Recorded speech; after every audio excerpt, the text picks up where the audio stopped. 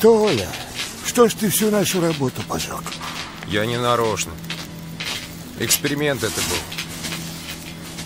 На предмет рационализаторского предложения. А нельзя было хотя бы бухгалтерию со столовой оставить? А что это? Сегодня получка должна была быть. Я не подумал. Не подумал. Теперь думай, как с первым поездом в войска укатить. А то засадят в клетку, как жирафу.